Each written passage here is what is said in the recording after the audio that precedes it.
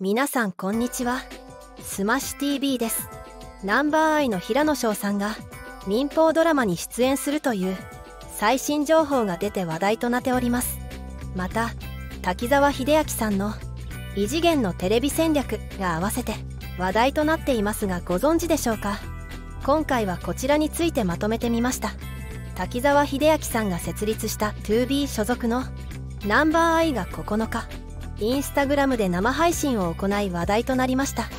番組中盤にはファンからのコメントを拾った平野さんが「なんか岩ちがいるらしい」とメンバーに呼びかけるシーンがありました。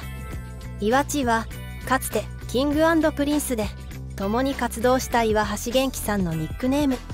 実際に生配信のコメント欄には岩橋さんの公式アカウントから「書岸くん神宮寺ずっと応援してるよ」とメッセージが届いていました。平野さんは「おい岩地元気してるか？家族元気か?」と近況を聞くと「野球まだやってんのか？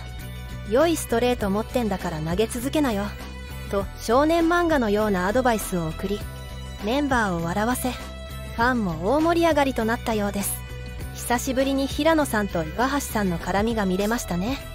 そんな平野さんは7日都内でサントリー人水の新テレビ CM 新キャラクター発表会に出席しました。昨年前事務所を退所した平野さんにとって今回が退所後初のテレビ CM となりました。どんな食事にも合うことをテーマにしたアルコール飲料サントリー人水。テレビ CM では糸生成すがすがしと爽やかに飲む姿が印象的です。CM の黒髪とは打って変わって髪色を変えて登壇した平野さんはブランドキャラクターとして自分は初めて拝見した。すがすがしいな。想像以上です。自分なりにすがすがしい表情できているのかなと心配でしたがと完成度に納得の表情を浮かべていました。撮影現場でのエピソードについては撮影はラフに共演した東京03の角田昭弘さんも気さくに話してもらった。撮影のセットがご飯屋さんでずっと良い匂いでお腹ペコペコでした。撮影後半は距離も縮まりアドリブもあり監督もカットを全然かけてくれなかったり。でもアットホームな感じになりました。と明かしていました。今回が初めてのお酒の CM でもある平野さん。大人だなと自身で感じた瞬間について。最近肉を煮込んで食べる料理。すき焼き。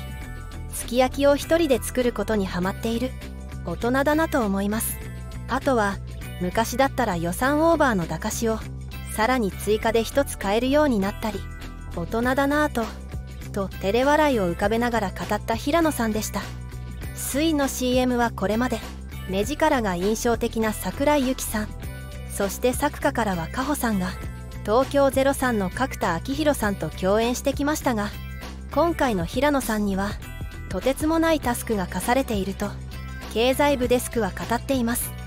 サントリーは同日1919年に作られた現存する同社工場の中で最古の大阪工場に55億円の設備投資を行うことも発表しました。2025年までに蒸留酒などの生産能力は2.6倍。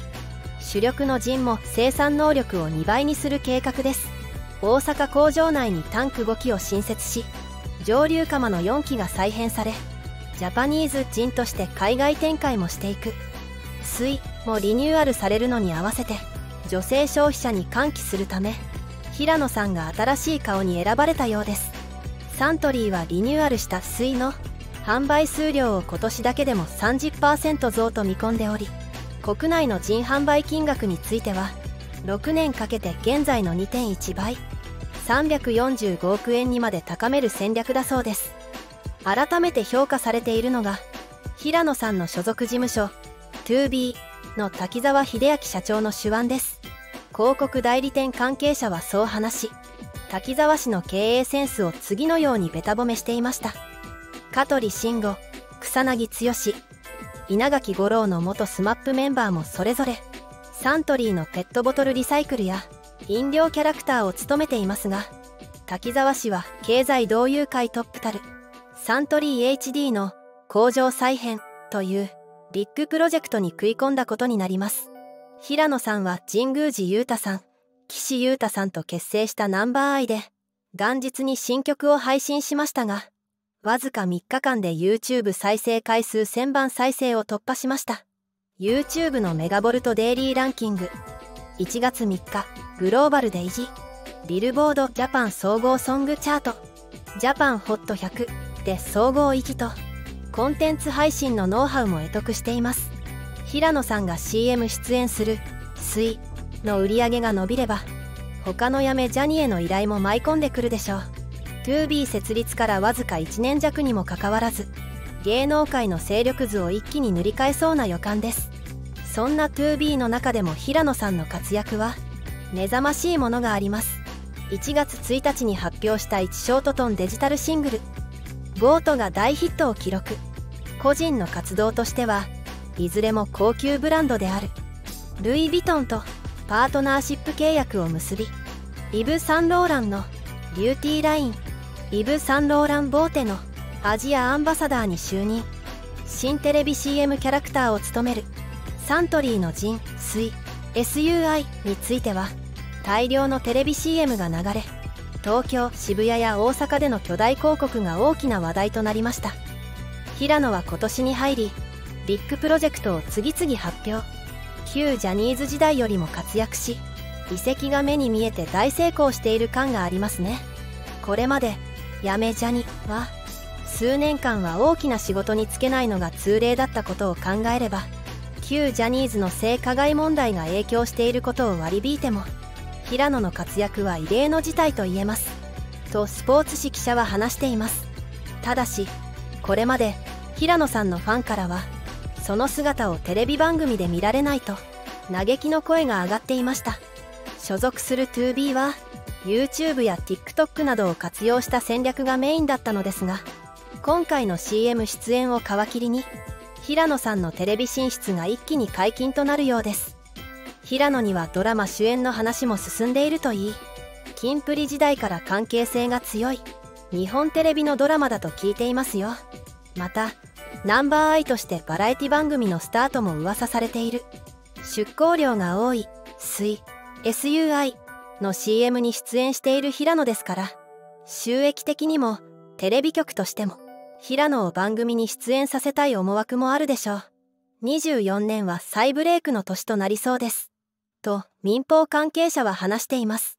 平野さんだけでなく 2B に所属する元 Kis-My-Ft2の北山宏光さんは4月5日スタートの「君が獣になる前に」で主演を務めることも分かっています。2023年11月にソロデビューを果たしアーティストとして活躍する北山さんが「ミリオン上ただ離婚してないだけ」以来約3年ぶりに俳優としてテレ東ドラマの主演に戻ってくるようです。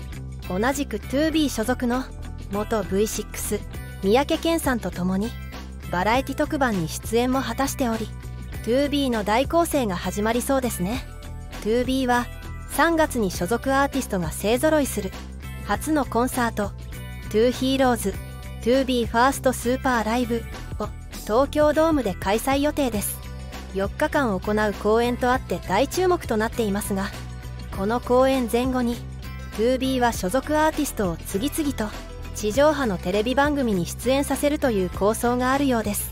創設者の滝沢氏は大手広告代理店のスタッフやテレビ局幹部と組んでナンバーアイのメンバーや三宅さん北山さんを中心にテレビ進出を本格化させる取り組みを模索中という話もあるとか。